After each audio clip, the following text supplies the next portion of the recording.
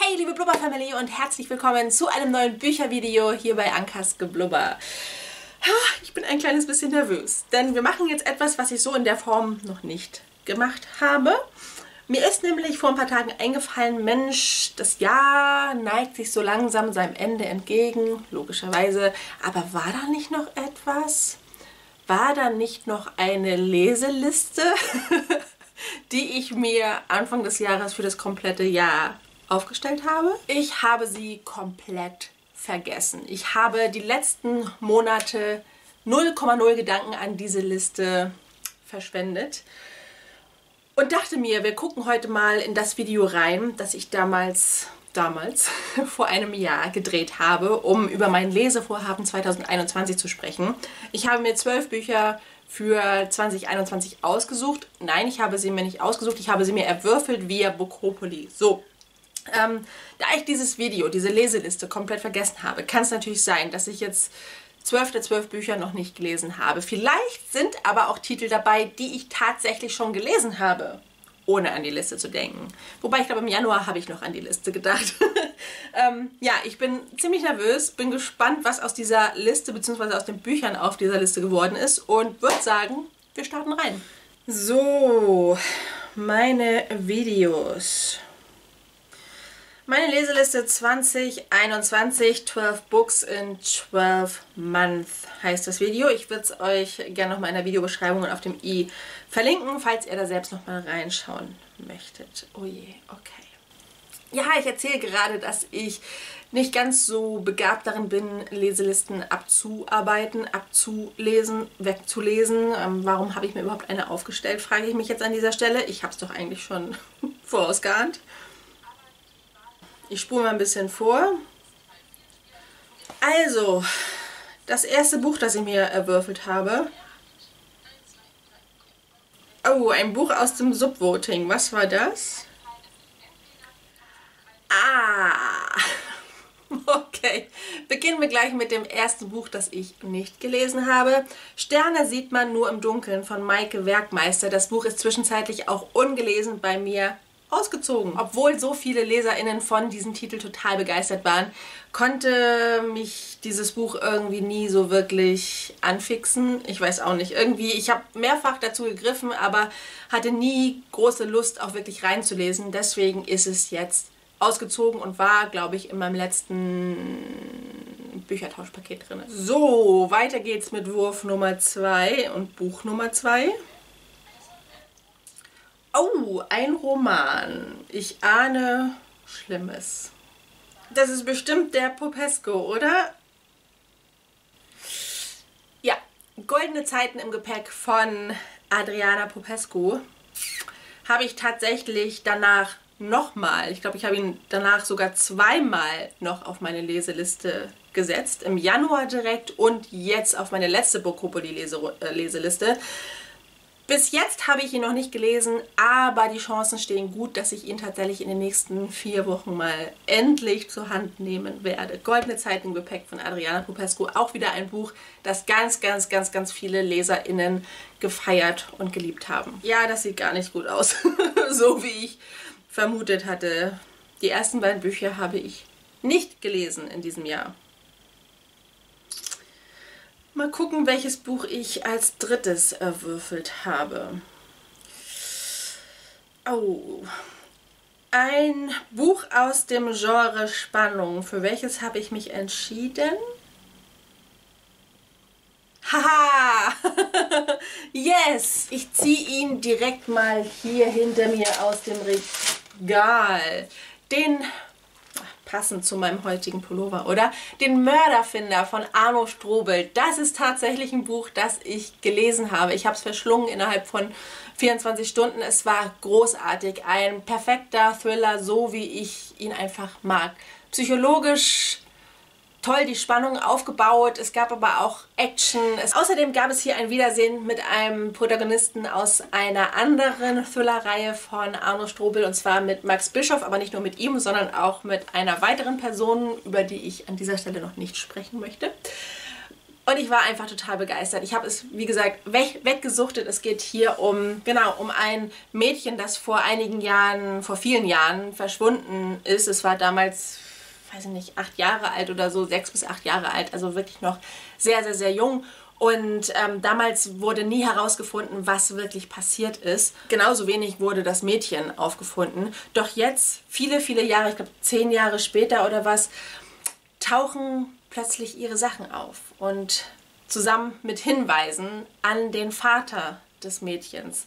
Plötzlich steht ihr Schulranzen, den das Mädchen damals dabei hatte, wieder im Elternhaus und, und weitere Gegenstände finden sich im Elternhaus wieder. Also wirklich total mysteriös. Ja, und der Fallanalytiker Max Bischoff versucht herauszufinden, was hier los ist. Was ist damals passiert und ist es jetzt tatsächlich so, dass die Tochter, die damals vor vielen, vielen Jahren verschwunden ist, zurückkehrt. Ich kann euch diesen Thriller auf alle Fälle empfehlen. Erzählt zu meinen Jahreshighlights 2021 tatsächlich. Und ich freue mich schon sehr darauf, hier in der Reihe ganz, ganz bald weiterlesen zu können, wenn nämlich Band 2 erscheint. Puh, jetzt bin ich doch so ein bisschen erleichtert, dass ich zumindest mal eines der Bücher, die auf meiner Leseliste standen, gelesen habe. Weiter geht's mit Buch Nummer 4. Gelesen oder nicht? Was meint ihr? Ich habe übrigens überhaupt keine Ahnung, welche Bücher da jetzt noch kommen. Oh, oh, oh, oh, oh. Also, ein Buch aus dem Genre Romance. Das werde ich doch wohl gelesen haben, oder? Welches ist es? Welches ist es? Welches ist es? The Secret Book Club Band 3 ist es, glaube ich, ne? Liebesromane zum Frühstück. Habe ich gelesen oder zumindest angefangen. Ich habe es meiner Meinung nach nach zwei Dritteln ungefähr abgebrochen. Denn ich mochte die Konstellation nicht. Ich mochte diese, ich mag generell diese From Friends to Lovers Geschichten eh nicht so gerne und ja, die war leider auch nicht mein Fall. Aber Band 1 und Band 2 der Secret Book Club Reihe von Lissa K. Adams fand ich gut. Sie haben mich gut unterhalten und ich meine, da müsste jetzt im Frühjahr oder im Sommer, ich glaube, der Titel wurde verschoben, oder? Nee, der wurde nicht verschoben, der wurde, glaube ich, sogar vorgezogen. Im März oder April müsste jetzt Band 4 rauskommen. Aber gut, ich bin erleichtert. Ein weiteres Buch kann ich von dieser Leseliste streichen bzw. abhaken. Auch wenn ich es nicht beendet habe, ich habe es zumindest mit diesem Buch versucht. Ha, das war doch jetzt der Joker, den ich mir ausgewürfelt habe, denn bei der Würfelrunde davor hatte ich nämlich einen Pasch und ich glaube, ich glaube, ich glaube, ich nutze diesen Joker, um ein Buch von der Liste direkt zu schubsen. Ja, ich bin glücklich, denn ich habe das Buch von Maike Werkmeistersterne, sieht man nur im Dunkeln, von meiner Leseliste wieder runtergeschossen. Somit zählt dieses ungelesene Buch nicht als Fail. ich bin erleichtert. Okay, nächste Würfelrunde ein, haha, nochmal ein Buch aus dem Genre Spannung, für welches ich mich da jetzt wohl entschieden habe. Ich habe dieses Jahr nicht so viel Spannung gelesen. Oh, oh, oh, oh, oh. Ein gutes Mädchen. Ah, ja, ja. Ein gutes Mädchen. Ich habe es direkt aus dem Regal gezogen von Emma Rowley. Ist ein Psychothriller, auf den ich sehr, sehr, sehr gespannt war und auch nach wie vor gespannt bin. Denn, ihr könnt es schon raushören, ich habe dieses Buch noch nicht gelesen. In diesem Psychothriller geht es um Kate und sie stellt sich in der Kursbeschreibung selbst vor. Mein Name ist Kate. Ich arbeite ehrenamtlich bei einer Hotline für vermisste Personen. Junge Leute, die von zu Hause weggelaufen sind, rufen mich an und ich leite die Nachrichten ohne Fragen an ihre Lieben weiter. Die Anrufe, die wir erhalten, sind oft kurz und vage oder Telefonstreiche. Aber heute hat ein Mädchen namens Sophie angerufen. Sie hat etwas sehr Konkretes gesagt. Ich sollte jetzt ihre Eltern kontaktieren, um ihnen mitzuteilen, dass ihr Kind in Sicherheit ist. Das Problem ist, Sophie ist nicht sicher. Und Sophie ist meine Tochter. Klingt richtig, richtig gut, oder? Also ich glaube, ich werde das Buch jetzt in dem Fall nicht mehr zurück ins Regal stellen, sondern direkt auf meinen Nachttisch legen. Das wird ein Buch sein, das ich schnellstmöglich nachholen werde. Okidoki, weiter geht's. Eine 5, 1, 2, 3, 4, 5. Ein Rezi-Exemplar. Das werde ich doch hoffentlich gelesen haben. Oh je, jetzt wird mir gleich ganz anders. Hoffentlich habe ich es gelesen. Wow, Ja, Blitzeinschlag im Territorium von Christine Werner habe ich gelesen und geliebt. So, ich habe es mal aus dem Bücherregal um die Ecke geholt. Blitzeinschlag im Territorium ist ein Kinder- bzw.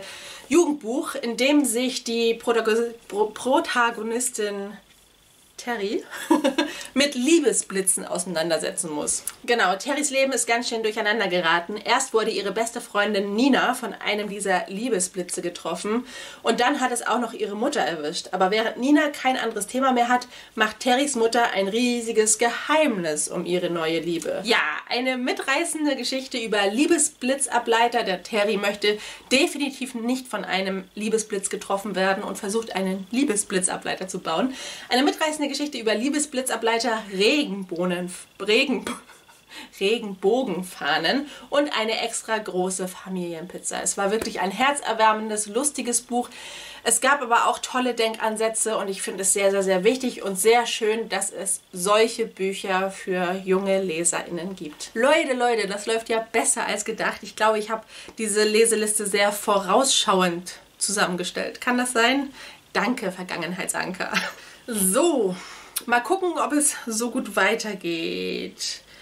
Ich habe, oh, ich durfte mir ein Wunschbuch aussuchen. Okay, das kann ja nur ein, ja, juhu, Right Here Stay With Me von Anne Petzold. Ihr neuer Roman, der jetzt erst im September, Ende September, glaube ich, rausgekommen ist, habe ich natürlich gelesen bzw. gehört. Und leider hat er mich nicht so sehr begeistert, wie ich es erhofft hatte. Denn ich bin ja ein großer Fan von ihrer Love Next Trilogie gewesen, die im vergangenen Jahr erschienen ist. Habe mich sehr auf ihre neue Dilogie gefreut, aber Right Here Stay With Me konnte mich leider nicht überzeugen. Aber ich habe es gelesen bzw. gehört und kann es jetzt somit von meiner Leseliste abhaken. Okay, nächste Würfelrunde. Eine 8. Eine Novität. Das klingt auch machbar. Und für welches Buch hast du dich entschieden, Anka? Jetzt rück schon raus mit der Sprache. Ja, auch das habe ich gelesen. Ich fasse es nicht. Ich fasse es einfach nicht. Band 3 der Happy Ever After Reihe von Jenny Cogan habe ich auch wieder gelesen und geliebt und vielleicht war das sogar mein Lieblingsteil der Reihe. So, hier haben wir das schöne Buch. Wo Geschichten neu beginnen, Band 3 der Happy Ever After Reihe von Jenny Colgan. Auch wenn ich hier, ich muss mich korrigieren, das Printbuch habe, habe ich die Geschichte als Hörbuch gehört. Die Geschichte wird nämlich gelesen von Vanida Karun, die zu meinen absoluten LieblingssprecherInnen zählt und da konnte ich nicht anders, ich musste es mir vorlesen lassen und es war grandios. Genau, hier geht es nämlich um die Londoner Krankenschwester Lissa. Sie erlebt etwas sehr Traumatisches und braucht deswegen eine Auszeit von ihrem Beruf. Sie soll an einem Exchange-Programm teilnehmen, was bedeutet, dass sie in eine Kleinstadt geschickt wird und dort den Job eines Krankenpflegers annimmt und dieser Krankenpfleger kommt dafür eben nach London, um ihrer Arbeit nachzugehen. Und so gelangt unsere Lissa also in das kleine verschlafene Städtchen in Schottland, in dem auch die anderen beiden Romane dieser Reihe spielen. Ihr Gegenpart ist übrigens der Ex-Soldat Cormac. Genau, er liebt eigentlich die Idylle pur, braucht aber neue Motivationen, neue Ansätze und soll deswegen einmal in die Arbeit in einer Großstadt hineinschnuppern. Die zwei treffen sich im ersten Moment gar nicht persönlich. Sie halten sich gegenseitig per E-Mail auf dem Laufenden und kommen sich dadurch eben doch ein bisschen näher als gedacht. Ja, ich glaube, Band 3 ist tatsächlich mein Lieblingsband dieser Reihe, wobei Band 1 auch unglaublich schön war, unglaublich toll. Aber da hat mir am Ende was nicht so ganz gepasst. Hier war alles rund, wobei ich am Ende auch dachte, hey, erzähl die Geschichte doch einfach nochmal weiter. Das ist jetzt so schnell vorbei. Ich hätte einfach noch viel länger in diese Geschichte eintauchen wollen. Richtig schon, richtig schön, richtig was für die Seele. Was Schönes, was man so wegschmökern oder weghören kann. Großartig. Ihr seht mich strahlen, ihr seht mich glücklich. Damit habe ich absolut nicht gerechnet. Ich dachte niemals, dass ich so viele Bücher von meiner Leseliste 2021 gelesen habe, ohne davon eigentlich zu wissen, dass ich damit gerade eine Leseliste abarbeite. Wahrscheinlich ist das das Geheimnis. Einfach die Leseliste links liegen lassen und dann lesen sich die Bücher von selbst. okay, nächste Würfelrunde. Eine 5. Oh, ein Ereignisfeld. Eieiei, beziehungsweise eine Frage, eine Aufgabe von euch. Oh, die habe ich bestimmt nicht geschafft, oder? Eine Aufgabe von Monemi 1986. Ich sollte Buch Nummer 13 in meinem Subregal abzählen. Welches Buch ist es geworden? Ich glaube, ich habe meinen Goodreads-Sub dafür genommen. Eieieiei, okay. Es ist Deine Worte in meiner Seele von Brittany C. Cherry geworden. Und nein, dieses Buch habe ich noch nicht gelesen. Aber dann werde ich auch dieses einfach mal wieder in die Nähe meines Nachttisches legen oder vielleicht einfach mal auf meine Couch. Vielleicht habe ich da mal die Muße einfach zuzugreifen und dann lese ich mich fest, denn ich glaube, dieses Buch könnte richtig, richtig gut sein. Das ist, glaube ich, das erste Buch gewesen, das von Brittany C. Cherry hier in Deutschland erschienen ist und es hat eine große Welle losgetreten. Seitdem hat Brittany C. Cherry hier in Deutschland eine riesen Fanbase aufgebaut. Es, erscheinen ja relativ viele neue Bücher von ihr. Ich habe mal ein anderes von ihr als Hörbuch angefangen zu hören, aber das war mir zu dramatisch und zu... Puh, ja, nee, das war irgendwie nichts für mich. Ich bin gespannt, was dieses Buch mit mir macht. Ähm, ja, und sollte es einfach mal bald herausfinden. Warum habe ich dieses Jahr nicht zu diesem Buch gegriffen? Ich weiß es nicht. Ich weiß es nicht, denn es spricht mich nach wie vor an. Also, sorry, liebe Monemi 1986, es tut mir leid, dass ich deine Aufgabe nicht bestanden habe, aber ich werde mich baldmöglichst an dieses Buch herantrauen. Okay, nächste Würfelrunde. Uh, eine Elf, eine Elf, eine Elf. No Comfort Zone. Oh no! Ein Buch, das nicht meiner Comfort Zone entspricht. Eieiei. Oh, ich glaube, ich weiß, welches Buch das war. Und wenn es dieses Buch war, dann stehen die Chancen gut, dass ich es probiert habe. Es war nämlich ein Hörbuch, ne? Nein! es war anders. Ich dachte, ich hätte mir da jetzt... Äh, okay, okay. Ähm, Aurora erwacht von Amy Kaufman und Jay Christoph. Wieso ist das ein Buch, das ich meiner No Comfort Zone zugeordnet habe, weil es Sci-Fi ist? Okay, bis dato habe ich tatsächlich nicht viel Sci-Fi gelesen. Ich liebe zum Beispiel Star Wars und gucke das sehr, sehr, sehr, sehr, sehr gerne. Ähm, aber ich glaube, Sci-Fi-Romane habe ich bis dato so gut wie keine gelesen. Und deswegen habe ich das Buch auf meine No-Comfort-Zone-Liste gepackt. Wie habe ich das dann damals begründet? Tatsächlich, tatsächlich so, ich meine, es ist ja auch so gewesen, ich mogel mich da jetzt nicht irgendwie raus, dass ich Sci-Fi-Romane bis zu dem Zeitpunkt so gut wie nie gelesen habe. Und deswegen entspricht dieses Buch nicht meiner Wohlfühlzone, beziehungsweise dieses Genre im Allgemeinen. Und da hatte die Vergangenheitsanker durchaus recht.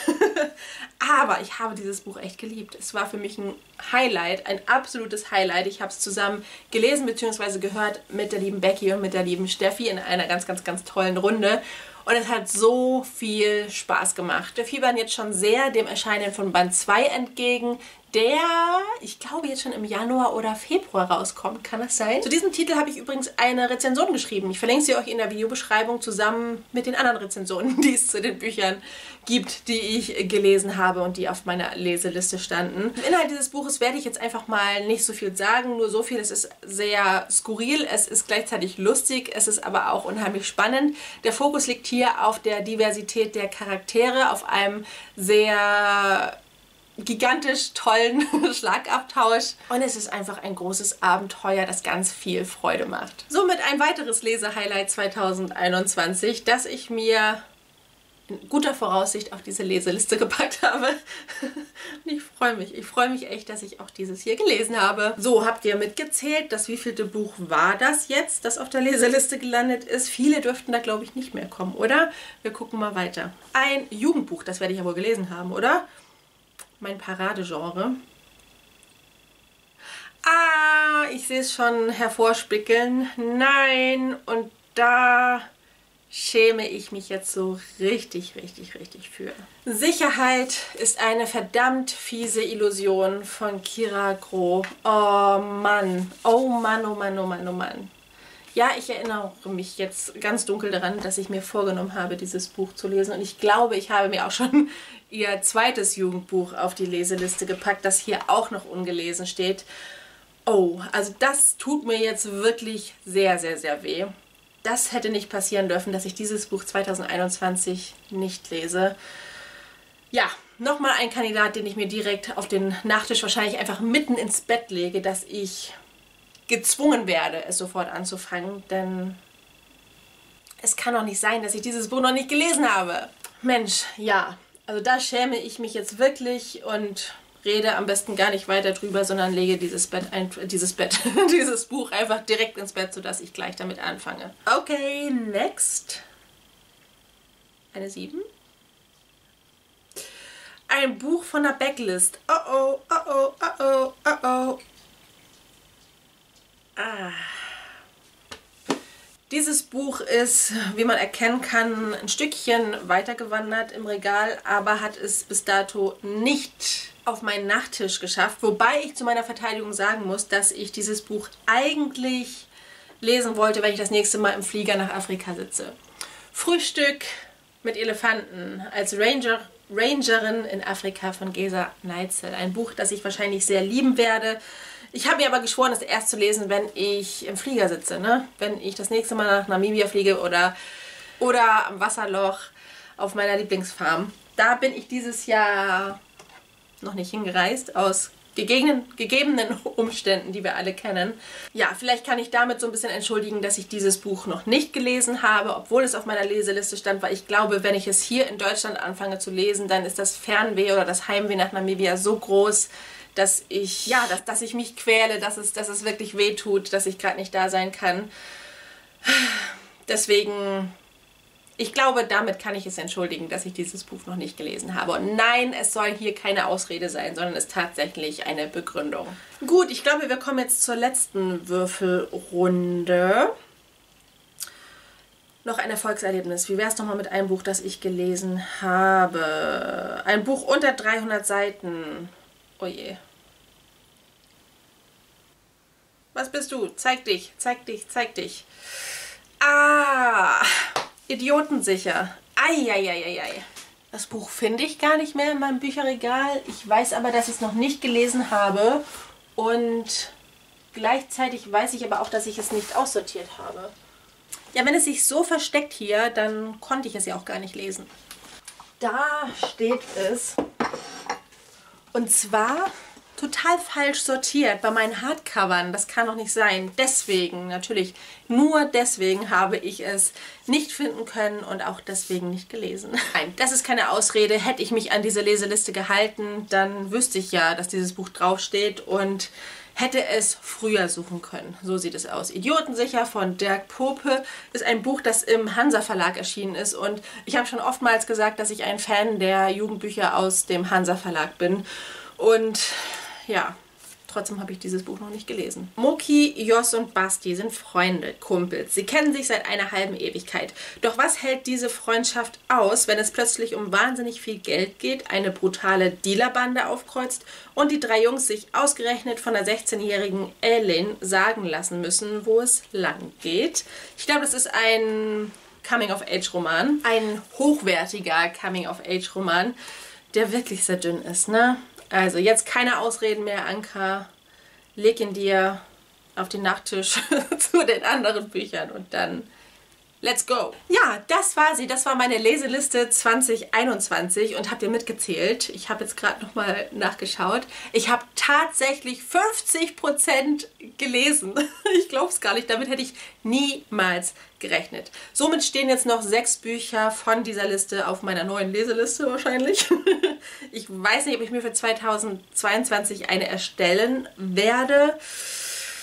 Ich glaube eher nicht, wobei ich war jetzt gar nicht so erfolglos. Ne? Ich sollte sie im nächsten Jahr einfach wieder vergessen. Nein, ich glaube, das machen wir nicht. Wenn, dann spielen wir nochmal die ein oder andere Runde Bokopoli, denn in der letzten Bokopoli-Runde sind auch wieder einige Bücher auf meiner Leseliste gelandet, die ich noch nicht alle gelesen habe. Setzen wir uns mal zum Ziel, dass ich erstmal die lese und dann geht es mit einer neuen Liste weiter.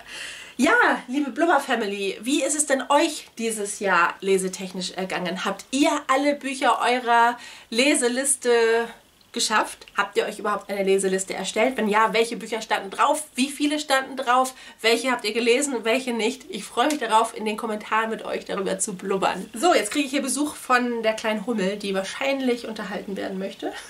Wir spielen jetzt eine kleine Runde. Liebe Blubber Family, vielen, vielen Dank fürs Einschalten. Vielen Dank, dass ihr bis zum Schluss dran geblieben seid. Ja, und wenn ihr Lust habt, dann gern bis zum nächsten Video.